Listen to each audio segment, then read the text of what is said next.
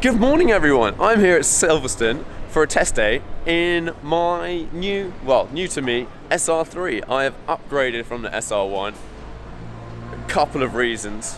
Mainly stability. The threes are just so much more stable. They are also a lot faster. Um, but we're here at Silverstone GP track, and there's a lot of sick other cars. We've got some Lamborghinis, some Bentley GT3s. So there's going to be a lot of fast traffic out there. But um, I'm going to introduce you in a bit to Ollie, who's my coach. And we're basically going to try and go through the day and see where the biggest chunks of time I can knock off. I'm going to try a bit of left foot braking. I've never really tried it in a race car before. And have a look around.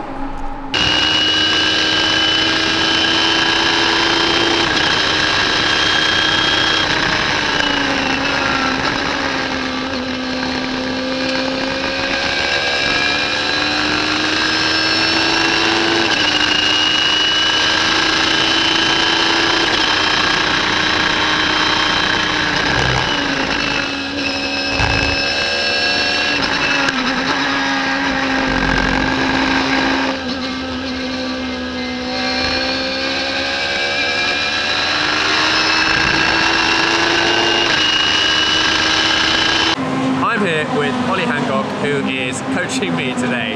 And done out, had one stint, and have a little bit of feedback. But basically today, I'm to try and chop off as much time as possible, and maybe better, I guess. I hope. Yeah, We yeah, hope so. yeah. So, uh, what's, what's, what's the number one thing so far?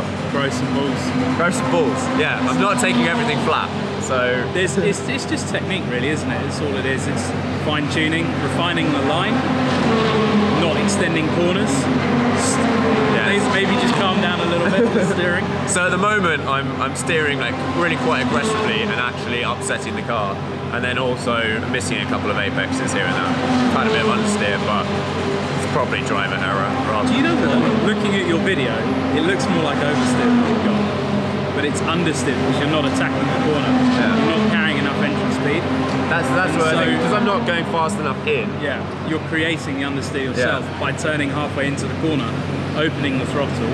It allows the car to sit down, Yeah. and then you get to the apex, but you've got a bundle of power on, so the front. So that would explain why it feels really twitchy at high speed because I'm doing a, even like a little bit. And it's like Yeah, I think with these particular cars, you have to be silky smooth Yeah. and very pitch perfect with it. You have to be very accurate all the time, and if you just wind a load of lock on I think that's it. I'm just like thinking. Yeah, and then you will be like you'll be like a drift machine all the way through.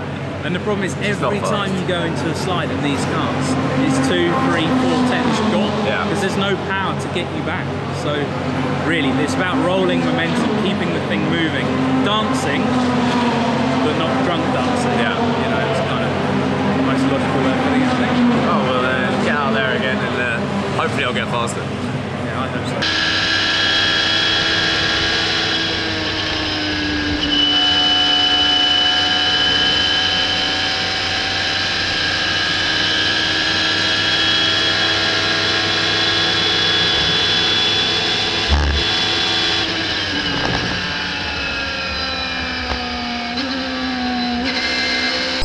Just got out of the car after the second session and we changed a little bit the setup. But I've had a sort of revelation. This car is so much better than the one. Yeah, it's quicker, but just from a handling point of view, I feel like I feel like I can be a lot more precise. Whereas the one, I was just wrestling with the car the whole time, just like chucking lock at it and going sideways. Whereas this, you can just sort of just turn a little bit and taking some of these corners flat and sick is one of the best feelings ever. And then we have these Lambos coming around, and some of them are they're taking the piss a little bit, but having a lot of fun.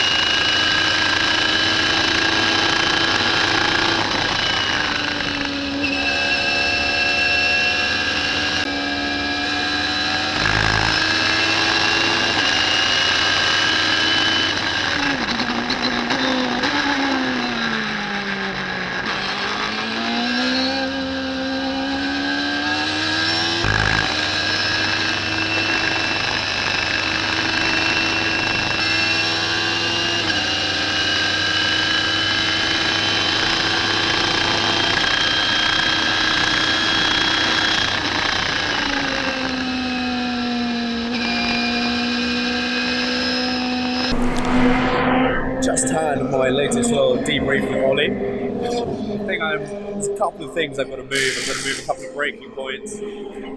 Just a couple of corners I'm just overshooting and losing a lot of time. And then I'm not using all the track, like every single bit of curb, nailing every single apex, which could be a, a second around the whole lap. So that is my target for the next set. Hopefully, I can knock off another. I want to be sub 210. I, still a, way, a long way off, but a long way off okay, qualifying time, but it's just chipping away, finding the little bits, and trying to sort of slowly get yourself there. You don't suddenly knock off five seconds, but if you can knock, knock off half a second, come in, knock off half a second, come in, then you slowly get there. That's it.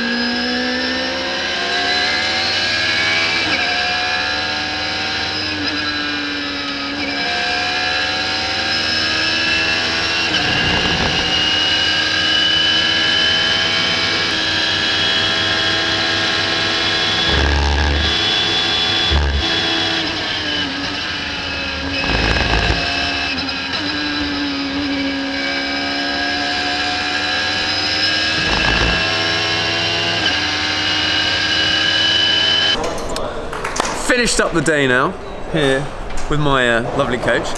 Good fun actually, isn't it? and it's been good. It. I've started off at the beginning of the day doing 213, something like that. Ish, something like that. It's so slow, I don't remember. It's really, really slow. Uh, No, they actually were timing and then they stopped because it couldn't be bothered. Just falling asleep. I actually drove into the other pits to say hello to them. Um, but by the end of the day, we've got down to like a two nine ish, two nine and a half, yeah. um, which is which is some some time off. I wish I could find it now. I'm definitely driving better than I was. It's definitely just getting used to the car, how much grip it has or hasn't got, and uh, yeah, pretty pretty I happy. think you've done quite well. Yeah, here we go. 10-3 is your fastest actual driven lap. yeah. But using your sectors of breaking down each individual corner and adding together your best sector times, we can view and see what you're capable of. Is an 8 2. So it's like two and a bit seconds. You should be within half a second of that. So that tells me that you're not quite consistent enough. You're Yeah. still learning the car, you're still trying to put together a lap. So once you develop and you spend some time in the car, you'll be able to match that really within About right. yeah. But your And what- actual and what do you think best of driving A fast that you've time done, today, like a A six. If I got in the car, I reckon I'd. No, Back if to- I got in the car, I'd do, I'd do like a Oh. 59, 159 in a Formula One car. Um, no, but you've actually driven a 9.5, Yeah. two minute 9.5, but it's picked it up from somewhere else on the lap. Yeah. Where you maybe haven't made a mistake as much. Yeah. That. So it's promising, considering it's your first day in the car on one of the hardest circuits because it's so long. It's cool. yeah. Happy days. Well done. So anyway, wrap that up. It's been a good day. Now I just need to get faster. When's the next day?